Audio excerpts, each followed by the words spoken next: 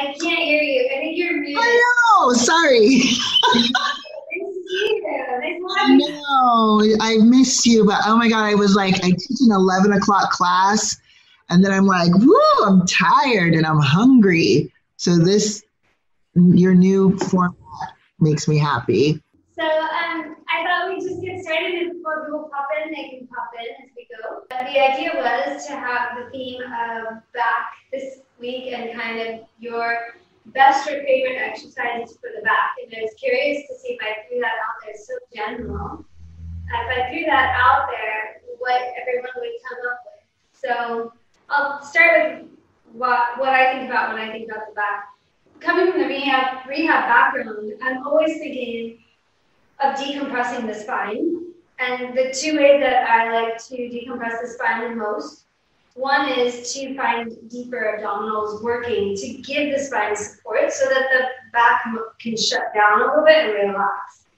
Um, I think what happens, or what I see or feel that happens a lot, is that we get in this bad pattern because of any number of things. Could be just posture over time, it could be accident or pain, and then our deep abdominal, the uh, multifidus in the back, and then the deep abdominals and the front transverse abdominis tend to shut off when we have that happen. So either over time slowly with just kind of degrading posture or after an injury. So um, I'm always, if we get those deep abdominals and multifidus to work, I feel like we get a really good base and we get lots of support for the back. And then any sort of spasming or discomfort can settle. So that's one of, one of my things. And the other one is decompressing the spine more with lengthening and tractioning. So, and I actually have to say, as I've been teaching more and more just, just mat, I've been trying to find more and more ways to, to coach people into lengthening their spines. So, um, my, I'm going to take you into coccyx curl. You're welcome to do it or watch or just listen or whatever feels right for you at this moment. Um, but I'll take you through it, and I'm, I'm going to cue it differently than sort of is standard, so that I can explain why I do it that way, and maybe it can be a choice for you depending on who you're working with, if you want to do it that way or not. So let me take you to coccyx curl, and I typically, um, personally, I don't, for me, I feel comfortable with my knees touching each other, but I think more people don't feel that comfortable with their knees all the way touching. So Using a little ball block pillow prop in between the knees usually gives space. So, and it gives space to the IT band as well. So um, we don't have to, if, if the knees come together and somebody has a tight IT or has really anything dysfunctional at the hip, that knees together can already create stress, and that's not stress that we need. And to get a really good deep abdominal contraction, we actually need a tiny bit of pelvic floor and using a, something between the knees will give that tiny bit of pelvic floor. So if I come down on the back and I just have him rest for a minute, I like to really differentiate the breathing in neutral from the coccyx curl because I feel like people don't understand that differential and I think they're two completely different things. So just here, if you would uh, take a breath in and then exhale and just uh, hopefully, uh, sorry, I should have said first, hopefully you landed in that neutral spine position. So if you've landed in neutral spine, um, I'm gonna take a breath in and exhale. Just gonna let my belly drop down to match my neutral spine position. So I have work happening in both directions enough, and it's not kill it, squash it work. It's just hello, I'm here and I'm supportive kind of work. So taking a breath in. As I exhale, ribcage sinks, belly's dropping. Pelvic floor now kicks in as I, um, if I give a little bit of a squeeze, and just as I drop that belly, I should feel like there's a lightening in the pelvic floor. Definitely not a pressure downward towards my feet, right? Really more lightening and upward, and that's enough uh, of a pelvic floor contraction. And then you're going to inhale and exhale belly's dropping, spine holding neutral, little squeeze at that ball, little pelvic floor lift. Right, so then that would be just a standard, that would be how we want posture in life. walking around and functionally. If we want to emphasize or strengthen, coccyx curl is a great way to do that. It's also a great way to lengthen and traction the spine. So if we're just going for strength, I would cue it as taking a breath in and exhaling, finding that breathing in neutral, same thing, low belly pulling in. And then I'm gonna keep that exhale going, but I'm gonna keep dropping my stomach as much as I can. And when I get far enough, I'm gonna start to feel that kind of a start of a coccyx curl. And then I'll engage my glutes and roll into the coccyx curl. And then I'll unroll back down. So here I find that if you start with the glutes, you end up with just glutes. I can do a coccyx curl with just glutes and not really do anything with my abs. And so if we're talking about back, that's not the pattern that I want. If, if we were talking about glute strength, maybe that would be the pattern. So let's try again, taking a breath in, exhaling, low belly is dropping down, little squeeze on that ball just sort of automatically helps that pelvic floor out. Keep the belly pulling down enough that I start to feel my back flatten, and then continue that motion with the tail curling. So if I, if I was going for strength, that would be exactly the right cueing. If I'm going for length or uh, unloading of the spine, then I would add that lengthening idea. So taking a breath in, exhaling, the belly's pulling down. Now I'm going to tell somebody, okay, now I want you to imagine that my hip bones, the tops of my hips are pulling away from the back. So like my sit bones and tail are reaching long away from me, pulling away as I curl upward.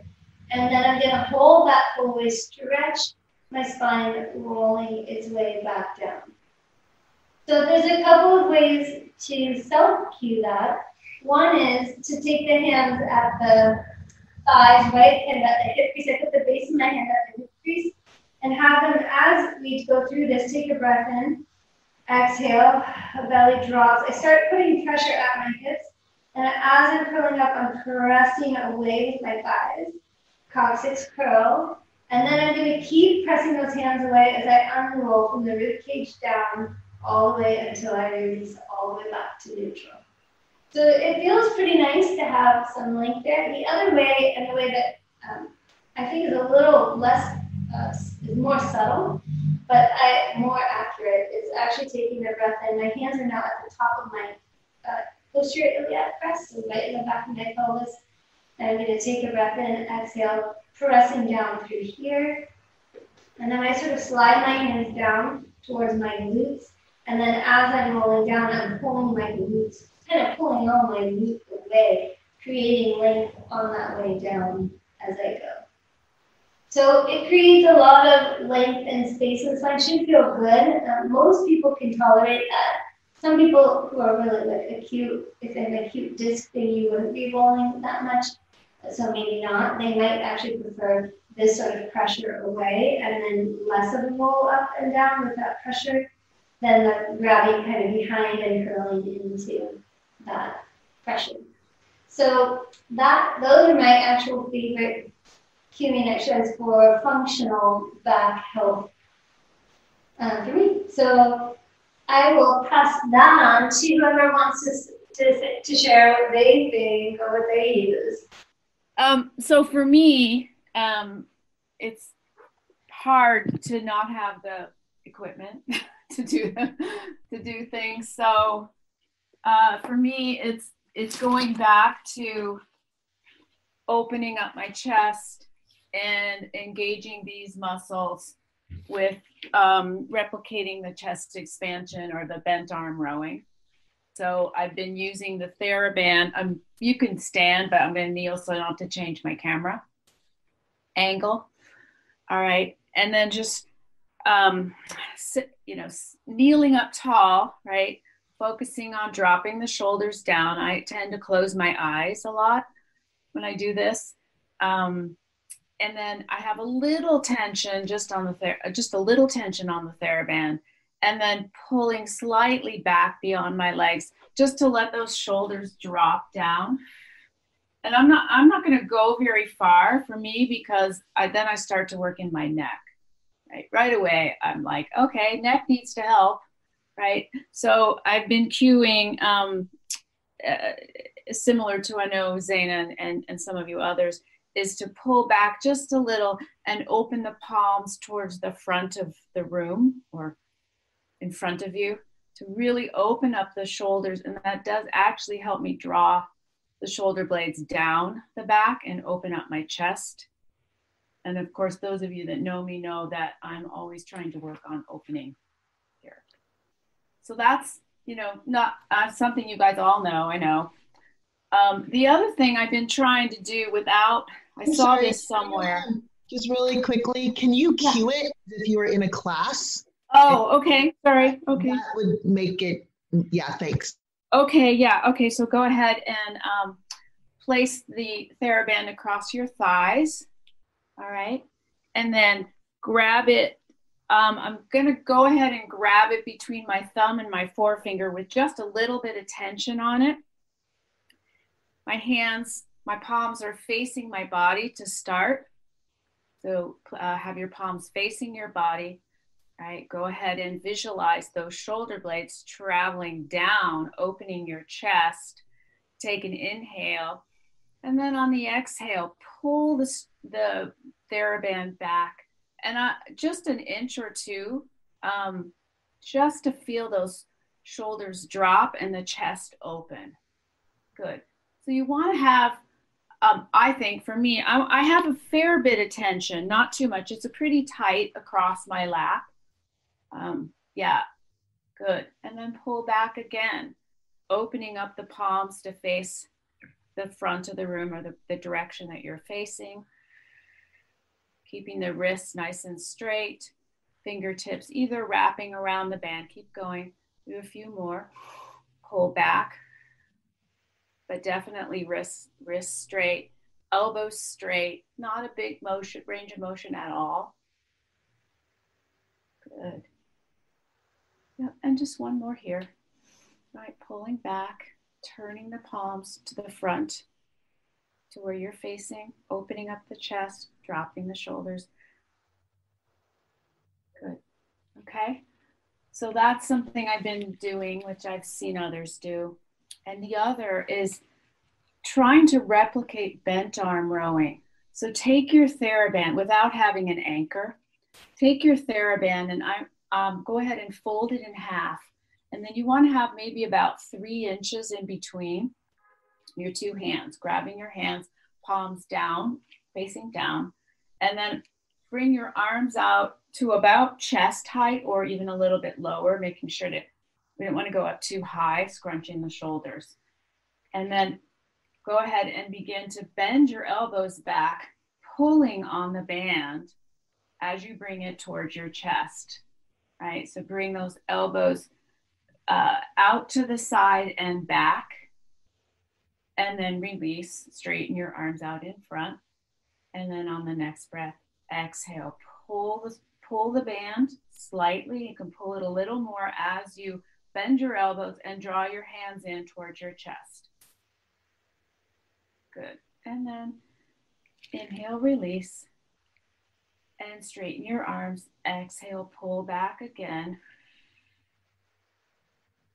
And inhale, release. And just one more time. Exhale, pull the band apart. Elbows out wide. Right, shoulders traveling and wrapping down. And that's it. Those are my two new favorites with the TheraBand. Can I can I say something about the rowing? Another Yes. give you another way for that rowing without an anchor. Yeah. The um, bent elbow rowing, I've been doing it in um, either half kneel and Yeah. rowing here, Yep. or in lunge, which is even better, and rowing here. So if you wanted to uh, mimic that without having an anchor point, I found those work really well too. Yeah. Yeah. Yeah. No, I've, I've done those too. I've just picked two. so, yeah. They do work really well, though. Yeah. Anyone else want to have any comments about that one or want to take it away and share what you have? I'll take it away. Thank you. Okay. Um, so I was gonna um, try this out on my Saturday class, the I think the level two, three class, but um, it's just our ball we're gonna use, and it's just um, I mean, I find for myself that I guess that I sometimes even in the coccyx curl um, or the um, even the bridging, like I just find it's hard to just really relax and find length. So it's almost a, I use it as a prop to kind of get some length, um, and it also provides some uh, challenge with your stability too. So I'm just putting the ball, I'm laying down, and I'm putting the ball right like under my tailbone. Um, and I also like the ball, I guess, in this position maybe better than the roller, just because I am so flexible. I feel like I like just kind of slouch into the roller sometimes, and it, it gets a little uncomfortable in my neck. So just have the ball at your um, tailbone, your arms down by your side, and we're just gonna. So think of what you were kind of springboarding a little bit on you, what you were talking about, like getting length and feeling the contraction in the abs for the coccyx curl. Um, just kind of putting those together. So inhaling and exhaling, letting the belly really drop, and then rotating the hips up towards your coccyx curl. And I find here, and you, you feel like you got a lot of length and some space in the joints, and then go back to more of a neutral. So you might have to play around with the placement of the ball a little bit. I just, this is, I haven't really tried this out. I'm just trying it on you guys for the first time. So feedback's encouraged. And then inhale and exhale. Using your belly to rotate your hips. Feel the hollowing of the belly, feeling some pressure on the ball in your um, right at your tailbone. And then inhale. Okay, and then just take a check to your feet, feeling that the weight is even in both your feet because you are using the ball. Inhale. Exhale. And I'm just going to bring my hands onto my thighs a little bit and try to get some more length from that coccyx curl. Okay, then coming back to neutral. And so that would be what I would do for the coccyx curl. And then I, to get some more stability in the torso and also because I'm so flexible, my hips just want to do crazy things sometimes. So um, it would be just, we're working on single legs. So I find this is a nice supported, like intermediary between like full single leg bridge and then um, like both legs, at least for me. So weight is on my left foot. I'm going to bring my right leg up to tabletop. Okay. And then I'm going to bring that leg down, focusing on keeping the ball balanced my hips are going everywhere today. And then feeling the weight in the right foot and bringing the left foot up to tabletop. And then bringing the foot down. And then other side again. And I'm feeling the weight on my standing leg and like the ball of the foot, the big toe, feeling energy in the arch of the foot translate that into the right foot as you bring the left foot back up. Okay, and then bring both feet down. And that's what I was um, been working on. So um, that's what I got. Thanks. I really like that. That feels great. Um, Does it? Okay, awesome. You can um, expand on that with that. Yeah.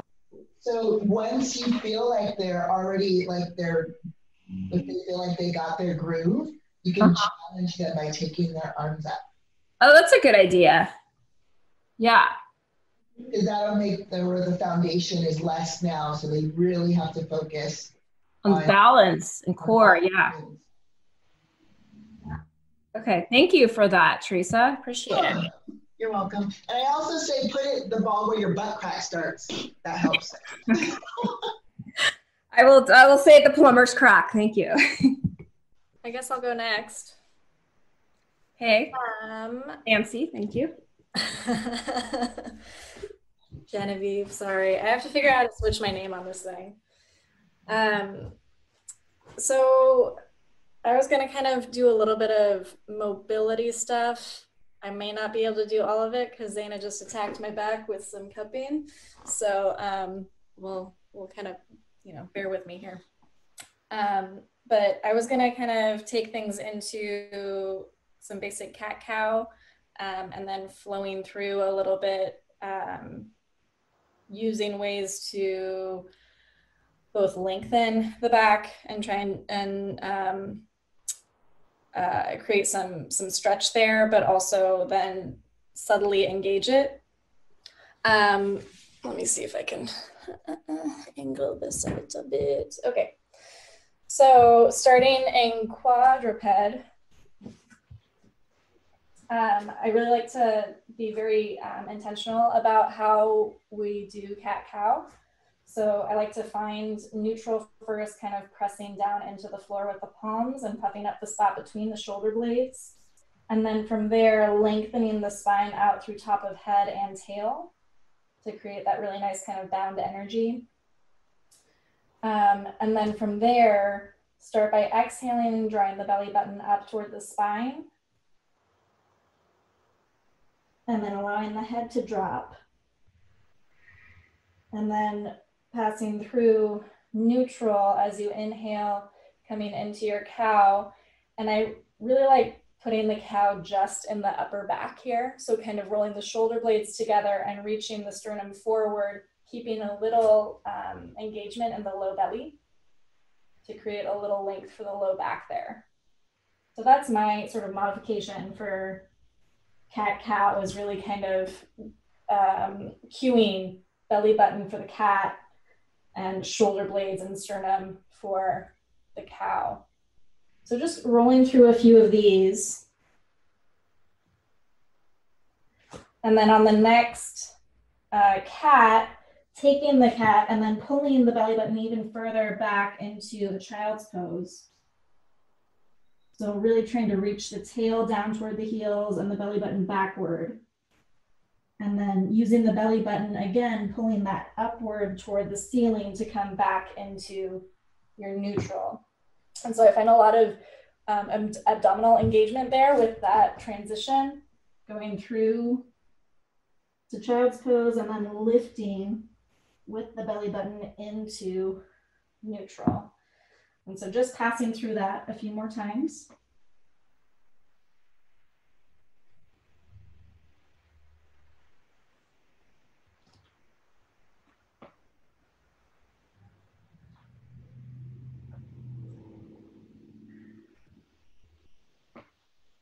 Then coming up and tucking the toes, coming into a down dog. So lifting the tail toward the ceiling and kind of lengthening there.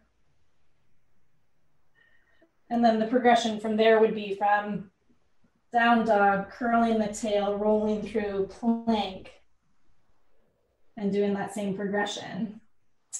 Um, walking it back a little bit, coming back into the uh, child's pose to cat or child's pose to quadruped. um, cueing from the belly button is one way to go. And I, I've tried this before in classes where we do a few like that and then we reverse it so that sort of we're lifting from the belly button, but creating a little lift in the tail coming up and then guiding back with the tail. So the belly, so the belly is coming in, but the tail is directing you back. And then that I find just creates a little bit of activation in the spinal extensors in a really gentle way and kind of guides you in sort of a more neutral spine. And you can even feel a little bit of the booty working there too, putting the brakes on, bringing the tail back. I think that was it. I don't know if that was useful for everybody, but That was great. Thanks, Genevieve. key. That transition there.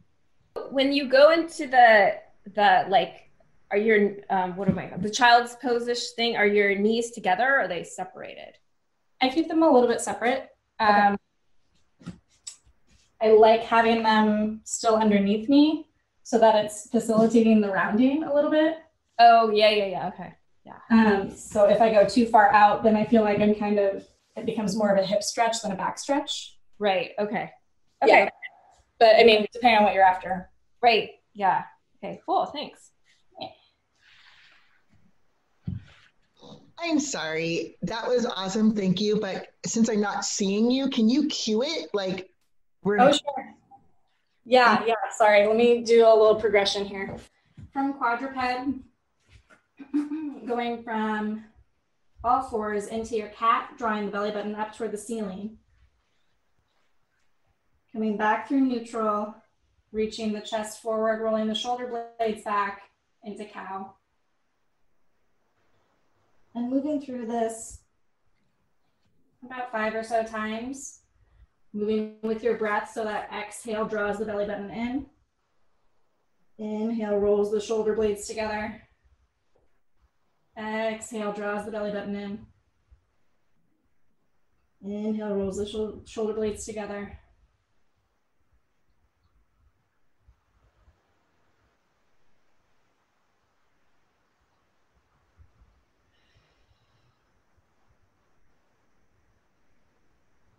Last one here.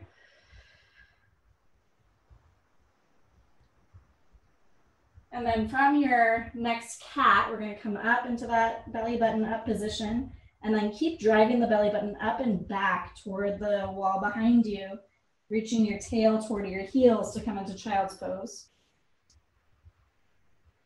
And then with the belly button lifting up, come back into neutral spine quadruped. And again, exhale, belly button lifts, reaches back, sits into child's pose. Coming up, back into neutral spine. One more like that.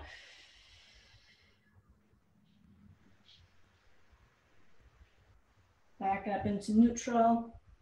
And then leading with the tail, keep drawing the belly button inward, but create a little length through the sits bones, reaching the tail back onto the heels again, once more into child's pose. And again, start lifting that tail up and shifting your weight forward once more. And again, shifting the sits bones back and coming back to quadruped once more.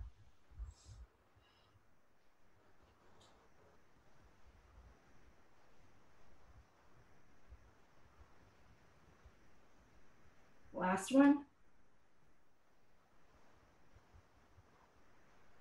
And actually, another thought comes to me here. You could then start trying to roll through the spine so that you could lead with the tail, coming back into child's pose, and then lift with the belly button coming forward so that you're kind of creating a little undulation through your spine.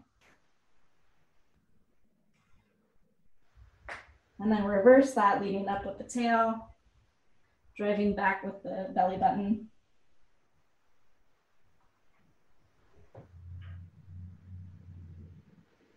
And then this next one coming into quadruped, we're going to tuck the toes under, lift the tail up, and come into uh, a down dog like position.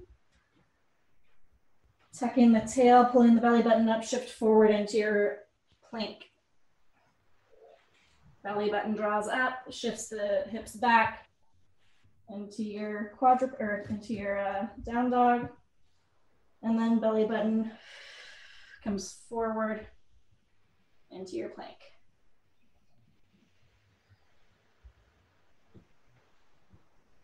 Last one.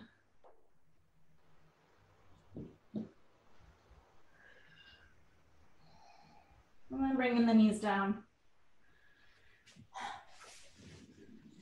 Okay. Can I piggyback on that? Yeah.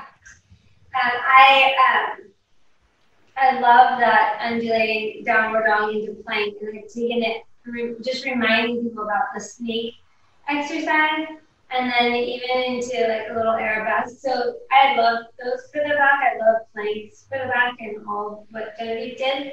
And then if you wanted to get a step further, if you want to try it I'll talk you through. But so if you went back to that downward dog, and then you're gonna come up. I've been teaching people to try to get the belly really active. Come up on the toes without going forward, so that the belly goes up to the ceiling, and then curl the tail. Find that plank, and then the snake here opens up the chest with the legs super strong, so we can get that upper shoulder blade squeeze that Genevieve did on all fours, but here in that plank. And then tuck the chin, rolling finding your way back. So that could be one version. And then the more progressed would be crossing one leg behind the other, going forward into that, rolling through, coccyx curl leading, opening to snake, so chest open, but tummy tight, legs strong. And then as I tuck the chin and come back, I take the leg up to the sky. And then close the leg as I come inward, open into snake, chest open, and then coming up, kicking that leg up, and then you could take it down, switching sides, so crossing the other leg behind. Really tight through the legs, hips go forward, coccyx curling your way, into snake here, opening shoulders open, chest open, and then tuck the chin, belly lifts, and leg extends to the sky, and then closing it down, rolling those hips forward, coccyx curling your way, open the chest, shoulders, strong, strong legs, and then tucking, rolling back, leg up to the sky, and then foot can come down and back to your knees down. Yeah. That's it, yeah. So it sort of combines the snake and the plank arabesque from the reformer from the plank series, which I love. So there's just so many steps and levels to this, from kneeling all the way up to that, and then eventually to the Pilates full push-up with the single leg arabesque.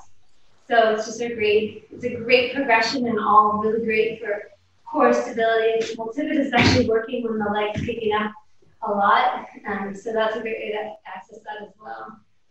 Hey, can I just ask you uh, just a quick add-on on that? You know, sometimes in yoga classes, you see people like, okay, now bring that leg up and out. Do you think that would be too much for like the clientele here, just as far as stability wise? Uh, so you know, it's um, adding rotation, and then the you know, the Pilates version of that is put down, right? So the yoga yoga version, if I understand it right, I don't pretend that I know yoga super well, but coming up and then opening the hip, trying to yes. hip but opening the Pilates version is to go from side planking, leg, oops, leg behind, and opening up this way.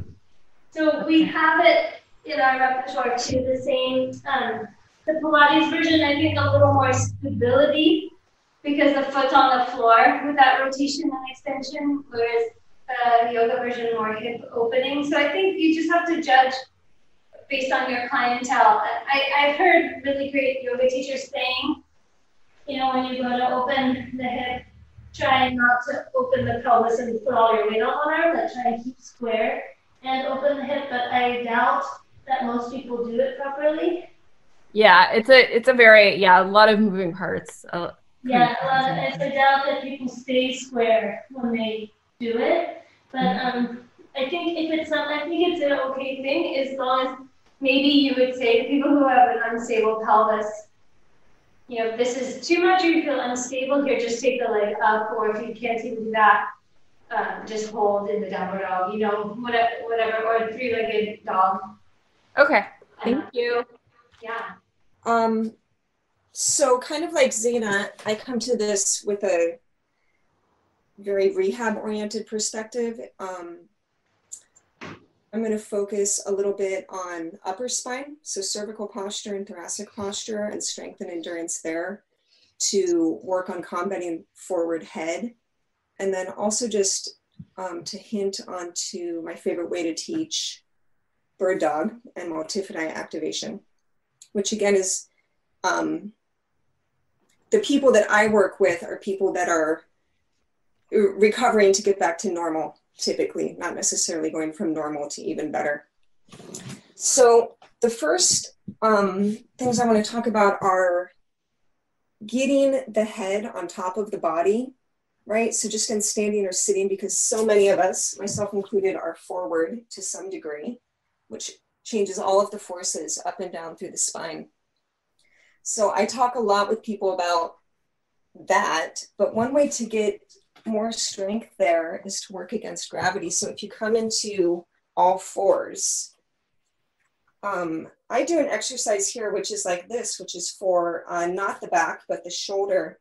But I started doing it during this time thinking of, uh, sorry, this is my first time teaching this to someone else because I've just been doing it by myself. So what I'm, the exercise here is to keep the elbows completely straight and to keep the spine itself in a neutral position and sink the chest down so that the shoulder blades slide together towards your spine and then push down through your palms, separating the shoulder blades away from your spine. So the movement here is really at the shoulder blades. It's not in the arm. It's not in the spine.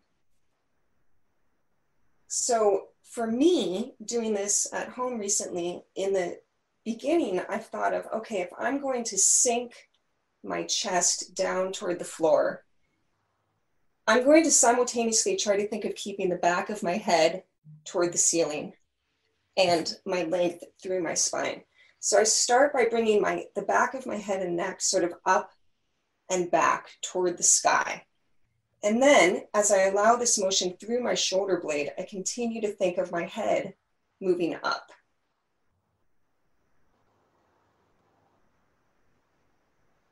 Um, I'm not sure how else to instruct that, you guys. I'm working on it. Any questions about that so far?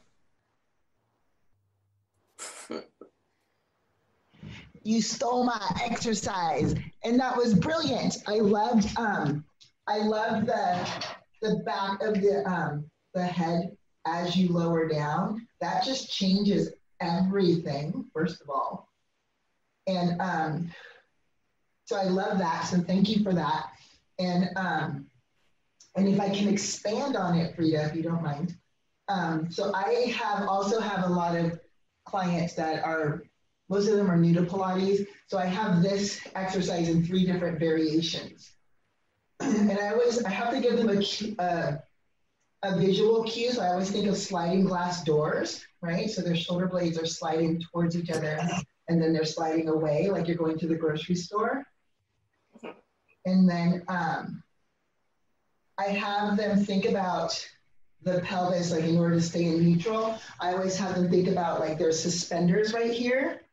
So they have suspenders on. So their suspenders can't get slacky, right? But I love the back of the head thing. So they'll do that. And then if people are feeling stronger, I'll have them come down and do it either on their knees or on their toes, doing the exact same thing. So lowering, sliding the glass doors. And then I will progress them up here to where they're doing it in a plank. So there's all those progressions. That's my newest favorite exercise, Frida. Awesome. Thank you for uh, your progressions too. Um, so I'm going to do another one, which, uh, so bird dog, right, or pointed dog, fires these little tiny muscles that go up and down the spine that their purpose is to rotate us, but here they're actually firing to keep us from rotating, right? So if we get into all fours, and I, I always take people through from the beginning, right? I don't assume that somebody can do more here until I see them do the beginning. So thinking here of reaching long through the back of the head so that the head is not sinking down toward the floor or the mat at all. Your face is lifted pretty much as far as away from the floor as it can be with your face still facing the floor. So you're not facing forward, Your eyes are gazing to approximately the area between your hands. So I feel like th- there's so much work here just posturally, holding this position before we even get into reaching the arms or the legs, right? So that the head doesn't sink down and the chin doesn't go forward so that someone is gazing in front of them. I don't actually want to talk you through bird dog, but I just wanted to talk you through the setup for this, which I feel is critical when we're getting into posture, right? It's of course more challenging for someone to hold their head and neck in neutral posture here because we're working against gravity. But it's such great training for the strength and endurance of those muscles on the backside. Questions, comments on that? I love that because I can feel the imbalances. Just holding this is just like, damn. So that's really cool. So I can already feel the imbalances in like my shoulders and how I put more pressure on in the other. So I love that of just holding out and hanging out here. Because we're so quick to go into movement, right? So that's really cool. Thanks, Frida. Yeah, I, I almost always um, find when I go into teaching some sort of bird dog in classes, I want people to stay there in quadruped for a while and like I always feel like I'm staying there too long, but it's it's that that you're right, that working against gravity where I'm like, this should be work and you should be feeling like you're working. But I'm always afraid that I'm making them stay there too long and they're getting bored. I hear it's like about the foundation, the like the bones of the pose, getting it right. Yeah. Right. That was great. I, I actually also had one more thing um, for back to your sort of serratus press against the floor. Um, I, I actually tried this today with my class, uh, just as like feedback for them a little bit, because we use the band doing serratus press on uh, supine on the floor, but I wanted to try it um, here on the mat in quadruped sort of feeling the um, the band pulling the shoulder blades together a little bit in that that uh, retraction moment, and then feedback going pressing into the band as you come into the press. Um, and I just found that to be kind of an interesting feeling. And I don't know if that's helpful for clients who who have trouble finding that. Like I feel like a, a lot of people do. Um, so Oh, that's nice. Yeah.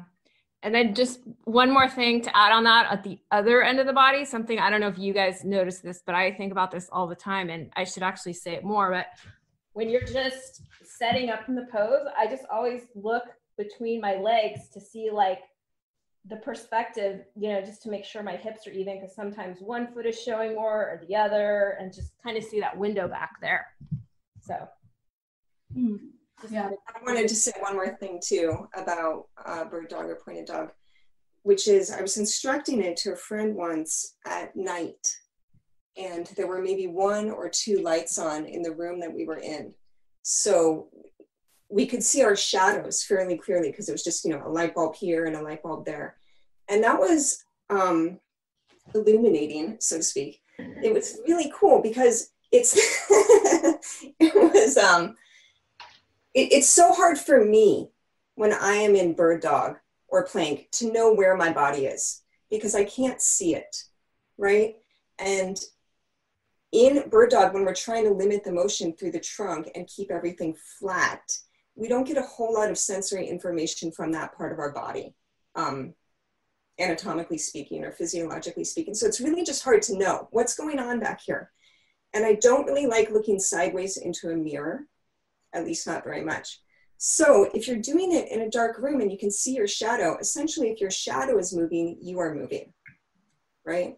So obviously if we're teaching classes at noon or something, that's not applicable. But if this is something you're teaching someone to do at home, you can ask them to do it in that way. And, and not that they have to do it that way all the time, but it it's just a useful feedback tool since it's so hard to see our position. Hmm. I had a couple more exercises, but I feel like we're getting out of time and I need to um, see if Teresa wants to teach another one. No, go. Anybody else have more stuff? Oh, I just I just have feedback on that last. One. It's sort of just just a, a bad uh, philosophical joke, but I could I, you could call that the myth, the Plato's new myth of the cave, doing the pointed dog, the shadows. I don't remember anything Plato, so or myths of caves. Probably a big, you know, a guy with an attitude a long time ago. So yeah. Okay, um, I'll do a couple more. And these come, um, one from my oldest and dearest yoga teacher, and one from my first Pilates teacher. And they are in prone. So I don't, I don't typically teach Cobra to my philo- to my physical therapy patients. Um, I think there's a lot that can go wrong there, and it's not necessary for most of the people that I work with. But my yoga teacher did once or several times teach me through doing Cobra in this way, so I'll teach you guys through it. So you're gonna lie down on your tummy with your forehead on the ground, so your chin is tucked, your forehead is down, and you should be able to breathe freely through your nose. Your nose should not be squished. And this is a position where the back of the head and neck are long and lengthened. So again, this is more yoga, right? But I think about lengthening through the crown of the head. So the soft spot on a baby's head is where the tallest part of our head would be. So thinking of that here, which is with that long lifted posture, even though you're lying on the ground. So Cobra, most people know, is this position where you come up into sort of a back bend. The hands are on the floor. You can look at me if you want for a moment, but it's this arching away from the floor thing, which people can get into in a lot of different ways. But if we're working on posture and head and neck alignment, this is one way to do it. So the first thing that I'm going to do from this position with my forehead down and the back of my neck long is I'm just going to lift my forehead about half an inch from the floor. And I'll hold that for a moment or two and then lower my forehead back down. We'll do that again, lifting so my face is completely facing the floor. And then I just lower my head down. I'm not pushing through my hands or my arms at all. And I'm not um, not tilting my face. So we can do that again and we'll lift the head away from the floor half an inch and then you can tilt your chin up just a few degrees really so that my face is starting to look forward the tiniest bit I'm going to rotate my face back toward the floor and then lower my forehead. Doing that again, so lifting directly up from the floor and then tilting the chin up to look forward slightly. Rotating the chin and head back down, lowering the forehead. We'll start the same way, lifting the face from the floor moving the head forward a bit, and then starting to lift the neck itself away from the floor. So, not lifting the head more forward, but lifting the neck up toward the sky. Mm. Then lowering the whole head and neck down a bit, rotating the chin down, lowering the forehead. Are we good so far? Yeah. Mm-hmm. Okay. So this is something that in my yoga class, we went through this for, I don't know, eight or 10 minutes. So I'm even speeding a little bit here, but I'll take it one or two more steps. So we're here, arms again are relaxed. We're going to start with the back of the neck long, lifting the face from the floor, rolling the chin forward a touch, lifting the head and the neck up toward the sky. You can float your hands, make sure that you're not pushing through your arms. Place your hands, lower the head and the neck toward the floor, roll the chin back down, and lower the head. So we, we, we could take this further, getting into more of a traditional yoga cobra back bend situation.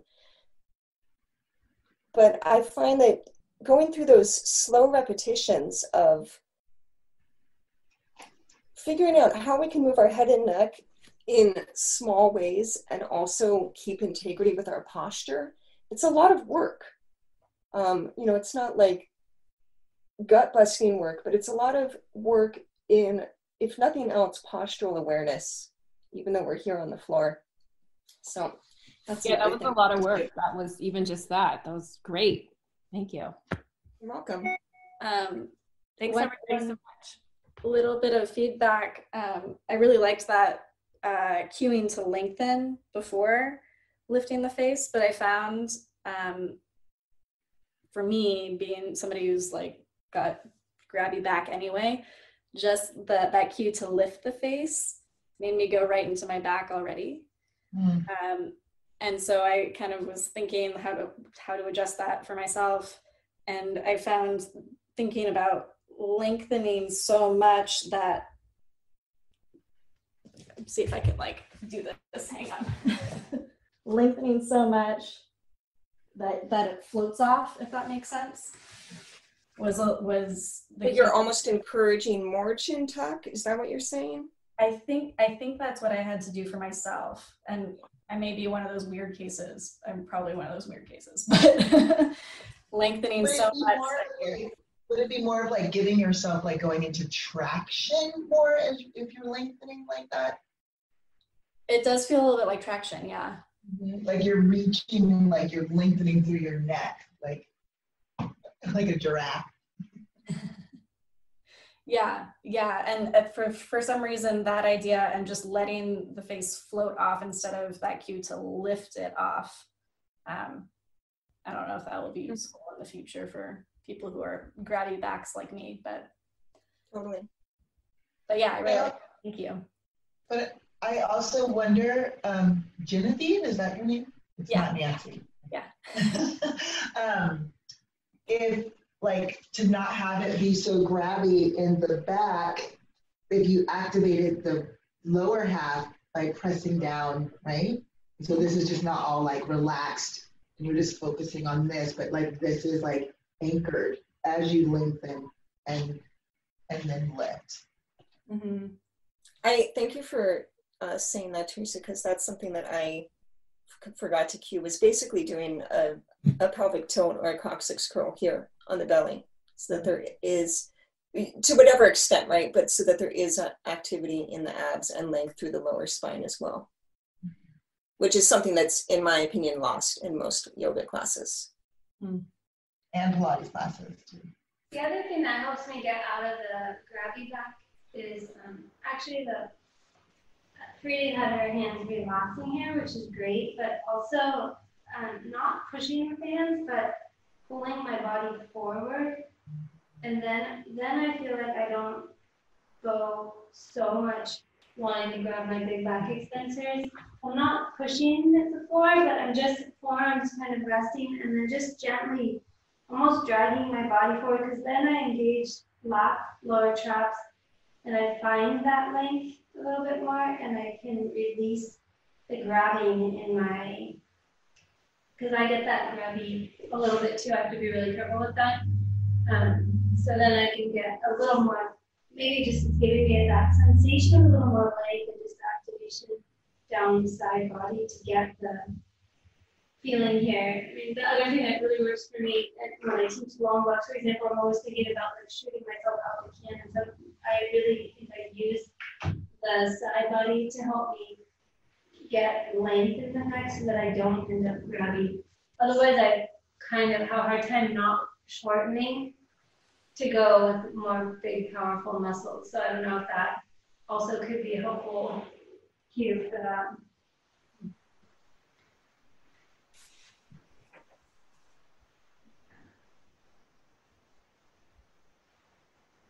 All right.